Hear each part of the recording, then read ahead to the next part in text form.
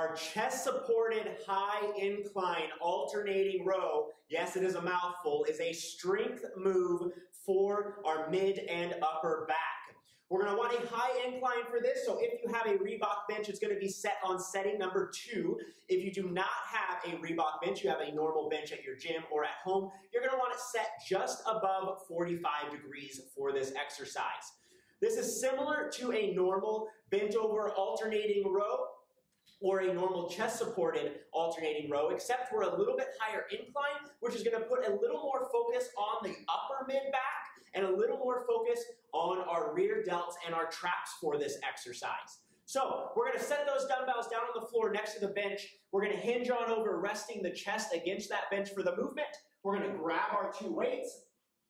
And then one at a time, we're gonna pull that elbow up nice and high, squeezing the shoulder blades, and then control it all the way back down. Once it's back down at the bottom here, we're going to switch and pull the other side up and squeeze, and then again control it back down, alternating back and forth. Most common mistakes made on this one, there are a few that are the same as our normal chest supported high incline row where we do both together. And that being, we want to focus on keeping the chest against the bench throughout that entire movement.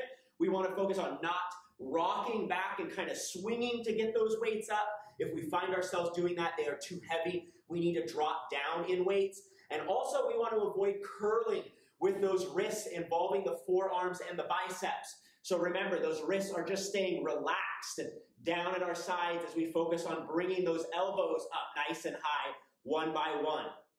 Other thing to remember that is not the same as when we're doing both together is that we want to try to avoid the rotation in the torso. It's going to be easy to kind of rotate to the right as you pull up with the left and then rotate over as you go back and forth. We want to avoid that. We want to focus on keeping nice and square with the torso against that bench throughout that entire movement and simply make that upper back do all of that work as we alternate those weights coming up.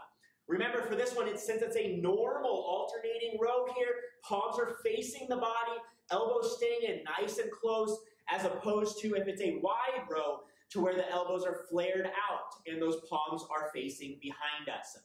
So start off with a little lighter weight than you would normally do for this exercise when we do both together, since it's a little tougher doing one at a time. And then as you get more comfortable and build up strength, you can start to progress up from there.